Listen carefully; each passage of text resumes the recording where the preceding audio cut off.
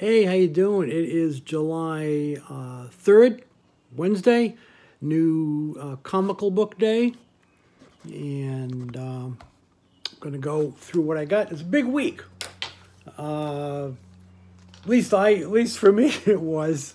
And uh, we'll, we'll just go through quickly. Again, uh, in no uh, particular order, just as they were in the bag, which actually uh, uh, fell fell down off the uh, the car seat where I had it, so they're even more mixed up than usual. So we're going to start with Immortal Hulk number 20, and that is not to give anything away. It's Betty Ross now, who is the the Harpy, I think she's called. Um, we got Lois Lane number one. Um, this is by Rucka. I'm looking forward to that. The Jimmy Olsen book comes out later this month or next month, I think. Uh, both are a 12 issue maxi series. We got Ghost, the Cosmic Ghost Rider. Uh, destroys the Marvel Universe. I'm not sure how many issues that has left. Um, or is that a continuing? That's five of six.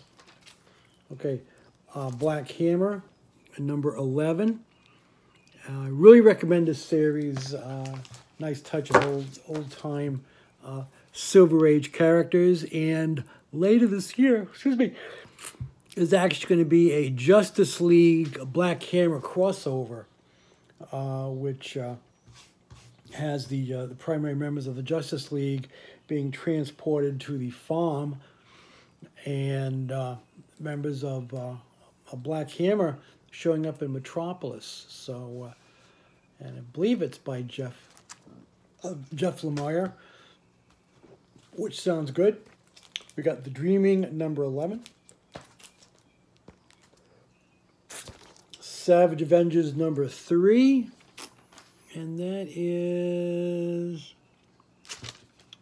Um, I don't know. I don't see it on here. It just says number three. I didn't realize it was a continuing series. Uh, okay. I don't know how they'll keep doing that. We got um, DCeased, number three, which I like. A Batman um, Teenage Mutant Ninja Turtles, uh, three. And this is issue three of that series, which is supposed to be the last. We got, uh, because apparently I missed uh, them, we got uh, Spawn 297 and 298. 298 is the one that came out this week.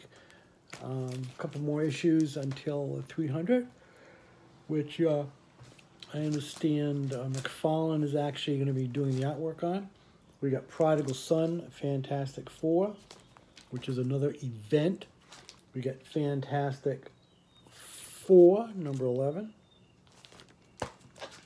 Sea of Stars, Jason Aaron, Dennis Hallum, Stephen Green, and Enrico Renzi. Uh, this apparently is, is highly recommended. Uh, the guys at the shop were recommending it. I want to say that I, the cover looks like uh, uh, Mignola, doesn't it? Mignola?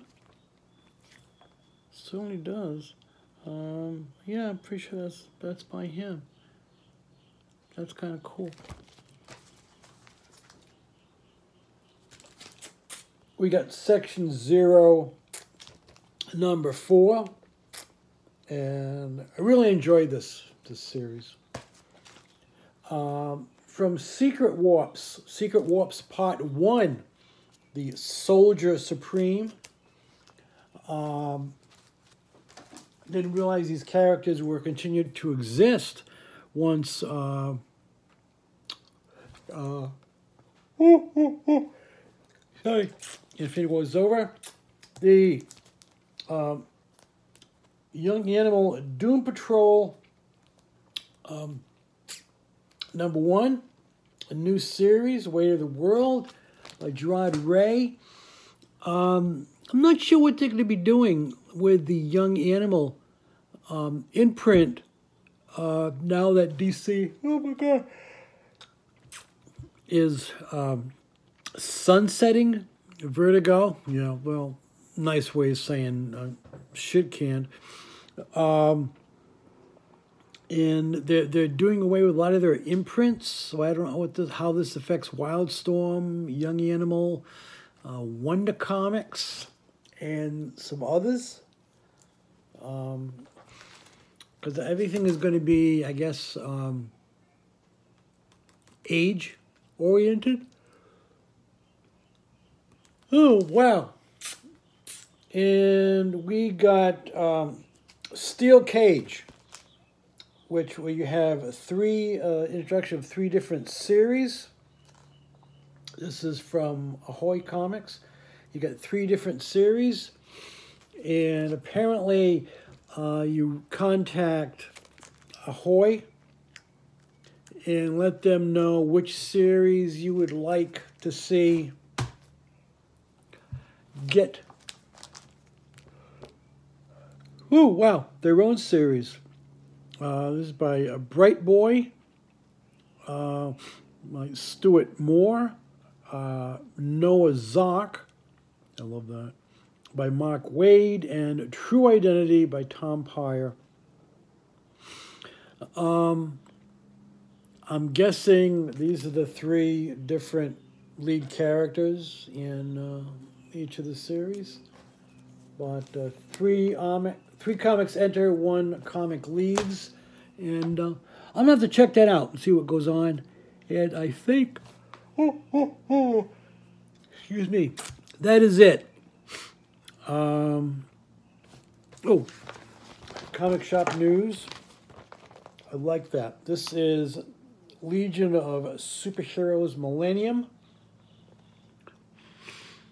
which is going to be a two issue series, um, and which leads into the uh, the regular um, Legion comic, which will come out in either end of October or November.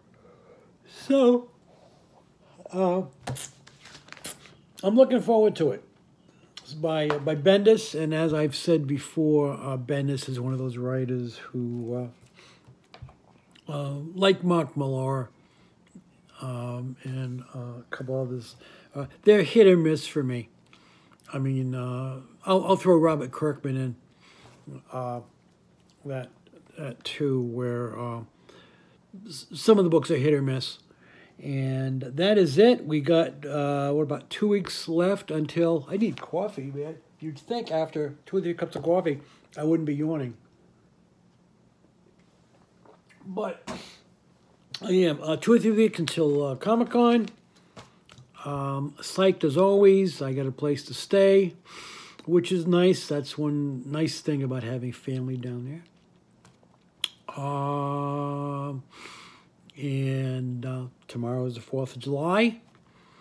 I'm going to stay out of the politics of that, but um, as a veteran, I'm not really thrilled about what is being done uh, with uh, part of that parade, um, which I see as a, a uh, basically an ego an ego stroke.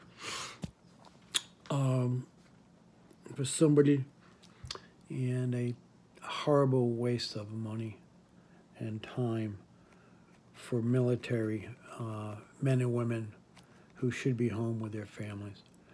Um, anyway, as I said, I was going to get political, but I, I can't help it sometimes. Anyways, uh, peace out. Take care. Probably see you next week. Um, the week after that is Comic Con, so I probably won't be hitting the shops until uh, until my return. But anyways, uh, anyways, uh, take care of yourself. Peace out. Uh, be good. If you have HBO, check out uh, Chernobyl. And I'm also binging uh, the first season of True Detective. Finally, I can see why everybody was raving about it. Take care.